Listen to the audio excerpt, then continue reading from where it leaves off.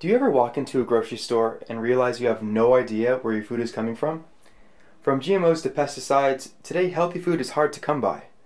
But what if you could grow your own food, year round, no matter where you live? Alright, what's up guys? Today is Monday morning. We just finished a big meeting and it's Greenhouse Week. So we're getting all kinds of things together and once again, we're out on a tire run. So this time we're a bit more organized. We got our list here. We're gonna be getting 235, 225, all the way down to 195 size tires. So we're gonna be a little bit more organized. We're gonna know exactly how many we're gonna get, and we're not gonna get more than we need. I'm expecting to get 220 tires by the end of the day. Update status.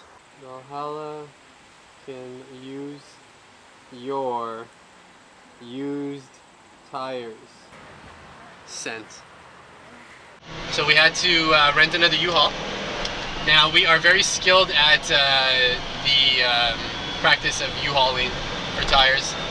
We're basically gonna fill the whole box with tires. That's that's the plan.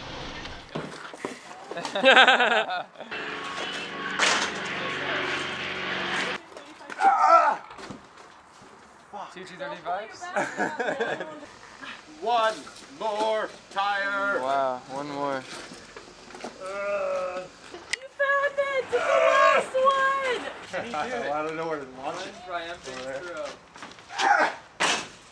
Oh, yeah! Give me that check on that list.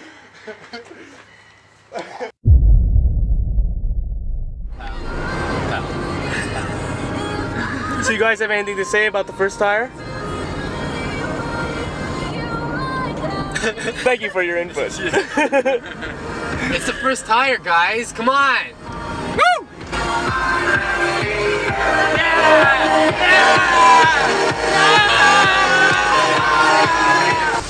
First tire that has been laid for the Earthship inspired greenhouse. I just want us to think about happy thoughts and to send as much love to this tire as we can for the next few seconds. Yeah. Hey, do do do. Yeah. It's probably the tire that received the most love ever. Pound, pound, pounding tires, pound, pound, pound, pounding tires, pound, pound, pounding tires. Poussez par là, ok? On, on va faire pivoter comme ça. Deux. Excellent.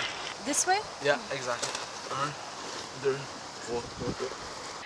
So don't let a cloudy day, so don't let a rainy day get in your way. Take this as an opportunity to reevaluate the work that you've already done and get ready for the next sunny day. All species, mate. the taste of freshly picked tomatoes. Look at this. Whoa, look at this here. Tomatoes everywhere. Fucking right. Yeah, if you want to harvest some of those. Uh, Hey. Here. Use my t shirt to bring them. Mm. Woohoo! Oh, Fucking great. that's good. So we're here at Valhalla and lunchtime is over. We're getting back to work. Now a lot of people have come to Valhalla and decided to lend a hand and show us their expertise. One, for example, is my man over here, Michel. He was an expertise in John Deere tractors. And we had a dead battery. Well, he fixed it. We have a whole swarm of what they would call a dirt bitch. And without them, we would have never been able to fill in the trench in the back this fast. There was an exposed pipe, and in a matter of minutes, it was covered and filled with clay. So when you have this amount of people helping you, it's very easy to get stuff done. And now we're moving on to the fourth row of tires. So I feel like we accomplished a lot. I mean, we're only building a 10 by 20 greenhouse, and it's only the first building we're building here at Valhalla, and it took a lot of time. But that's kind of the point. So many people were telling us, no, no, no, it's not gonna happen, it's not possible. It's gonna take you years before you're able to use tires in construction and stuff. And well, I kind of beg to differ. Tired, but we still can party. Sunshine, tires and tomatoes and earthships and Everything that comes together when you're tire partying. So the fun continues here at the tire party. It's day two.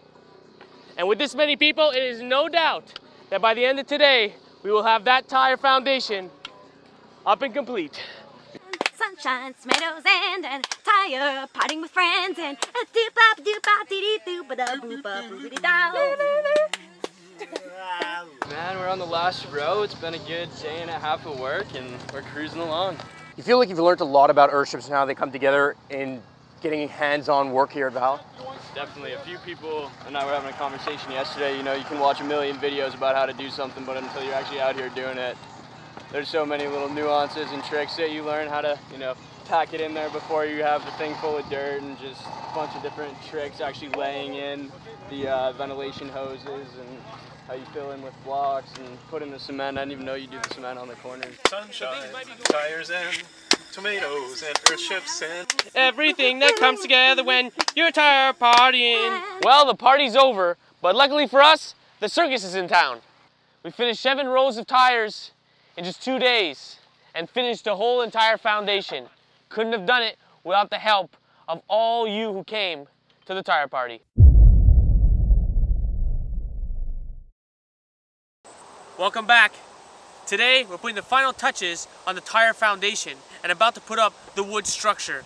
And this is a perfect opportunity to introduce you to Curtis. My man Kurt here will be the one filming the entire how to build an Earthship inspired greenhouse tutorial video. You'll have all of the information, so all of the plans to build it itself and you'll have different options like 10 by 20, 15 by 30 as well as all the principles so that if you choose to design your own, you'll know exactly what to think about when you want to design it. Furnish me up. Furnish me up. Sandra, Sandra. Beautiful. Awesome so far. It's a lot bigger than when it's just the tires. Yeah, much bigger than I expected it would be. I'm actually happy about that.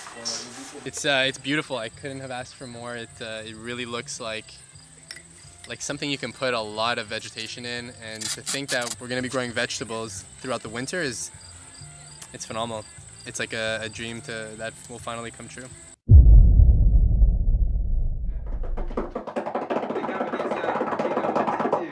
I remember the first few stages of Kickstarter was to just work and be super disciplined in our work and focused.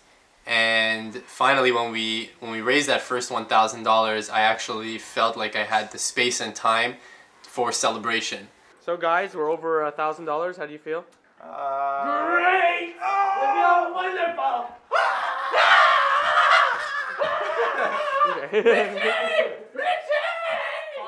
I was shocked at how well it was received. I was shocked at how much money we could raise in such a short period of time for such a small project. I was really confident that we are going to reach 100% funding, but I was extremely shocked that we got $1,000 in four hours. I mean, a tenth of the funding in a fraction of a day. And then after 10 days, we actually had, had made our goal, and I remember I was flipping shit. Did we do it? Did we do it? It was one of the, the proudest moments uh, of my life. Hello! Here we are at the Earthship Greenhouse of Valhalla. We've got uh, an Earthship house full of volunteers, and we are cobbing away. This thing's gonna be done in no time. You can get really fancy with it. You can do backhanders, you can do around the back, and you can even go, "Ugh!" You can do two hands if you want to get really fancy. Oh. Oh, sorry, don't tell anyone I did that. you might ask, what's the benefit of throwing and slinging mud on the wall? And the reason for that is because the manufacturing of concrete produces 9% of all the CO2 emissions on the planet. So now I, we're out here with all the name tags that we made. Just put this last one on here, made it from the sumac tree.